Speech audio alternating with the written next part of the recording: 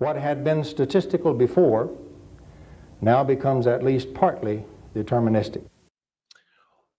What was statistical before now becomes at least partially deterministic. What was statistical before? The wave function of the double slit experiment. Now, why is it deterministic? We can actually figure out where the particle really is. If you want to think about terms of particle physics, you would say the wave function says we don't know where the particle's at.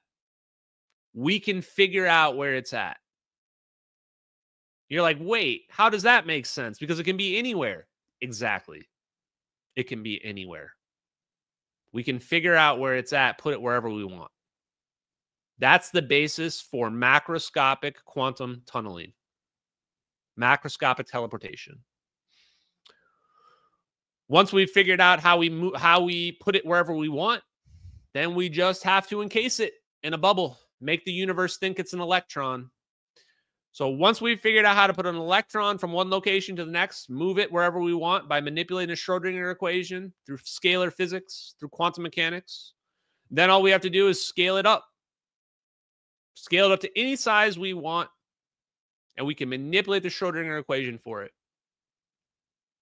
So they've probably understood how to teleport something since at least the 70s or 80s, since at least they understood scalar physics. When did they actually engineer how to do it in real life? Harder to say. Probably in the 2000s, maybe in the 90s. They probably knew about it before then, but to actually produce something that can do it is a different story. I published a paper where he had successfully united electrical field and gravitational field in a common unified theory.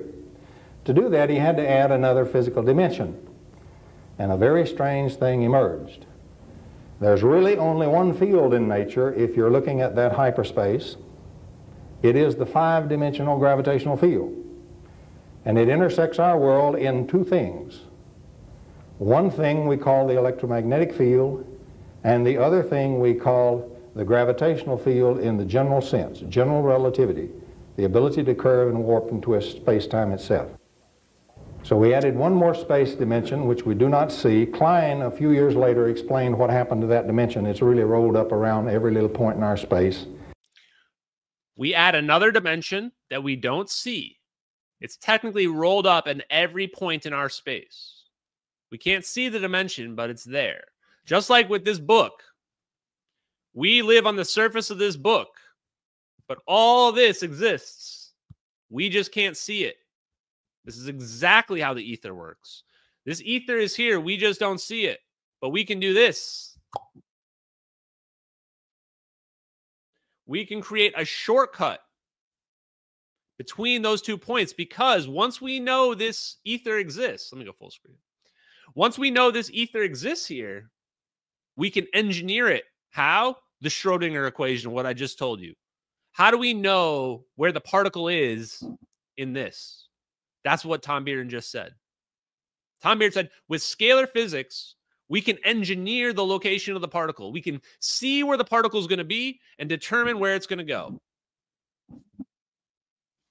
But this, the theory languished for many years until really about the early to mid 70s when the new symmetries in the forefront of physics and particle physics began to see that with that type of geometry, you could get in all these weird particles and you could get in all the forces.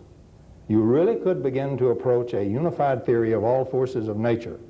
And the physicists became very excited.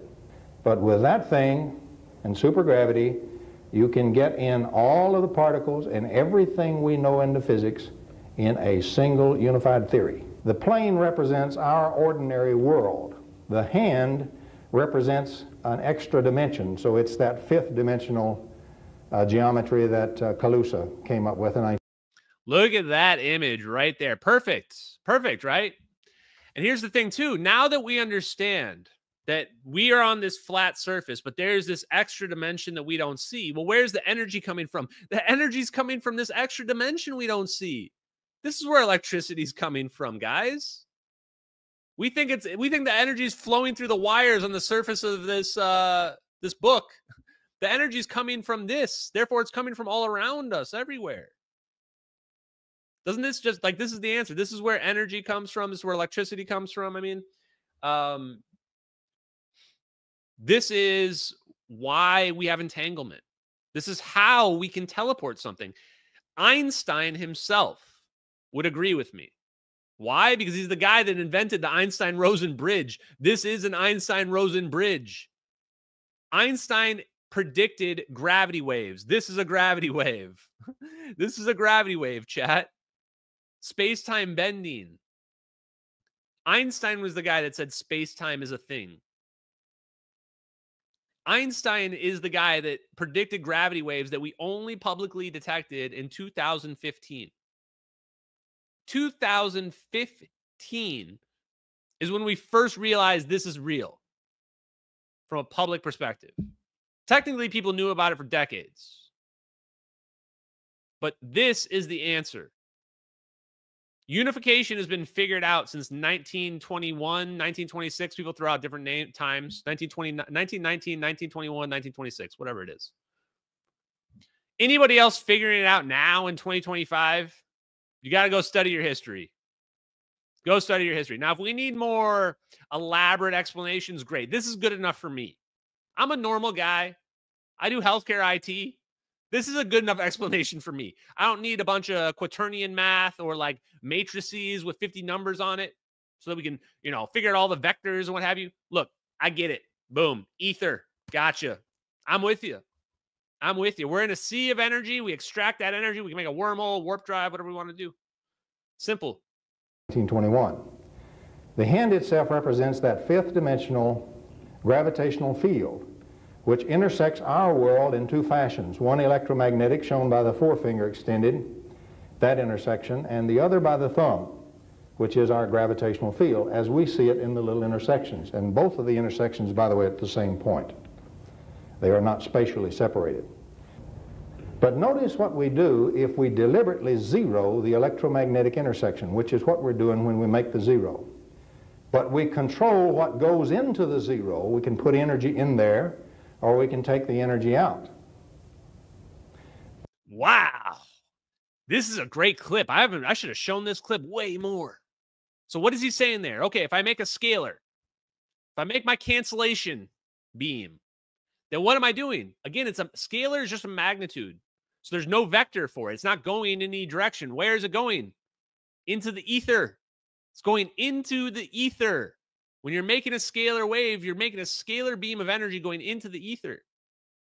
Instead, if you do this, you can put energy in there or you can pull energy out. Now we're talking about entanglement. Now we're talking about entanglement. So, what are they orbs doing MH370? They're putting the energy into the ether and they're going to pull that energy out. I really don't want to be on that plane. When we do that, it's coming in and out of the thumb as gravitational energy, directly as curvature of space-time. I can provide the direct conversion of electromagnetic energy into gravitational field energy or vice versa. Now, if you want to do anti-gravity, gentlemen, there it is. We can warp, engineer, and twist space-time at will, as we wish, in whatever pattern we wish. I mean, booyah. What does it look like to manipulate space time? What would a gravity wave even look like to us? I mean, oh, here it is. Yep, there it is right there. Well, that's what it looks like. We always wanted to know, okay, well, what would that look like? Well, there it is. It's pretty haunting, man. It's pretty haunting. That plane literally just vanishes out of the sky and it looks like it was never even there. Looks like it was never even there. That's what it looks like. There you go. You want it from another angle? There you go. Second angle. Literally, the clouds are barely even impacted. The only thing we get is a little flash of light, little flash of X-ray, gamma, or ultraviolet light, something beyond the the uh, optical spectrum. A non-radiative, non-heat, not hot emission of, of light. That's all we get. and the plane's just gone. Looks like it went through a mirror. It looks like the mirror, there was a secret mirror there and it just disappeared. Why does it look like that? it looks like that because we're manipulating space time. We're creating a scalar potential that's bloop, sucking that plane somewhere else. This is only possible if there's an ether, there's an extra dimension of energy. Why?